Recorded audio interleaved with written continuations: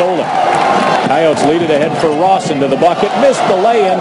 Staton the board. Fires an 80-footer at the horn, and it's good! Thomas Staton from 80 feet to beat the halftime buzzer.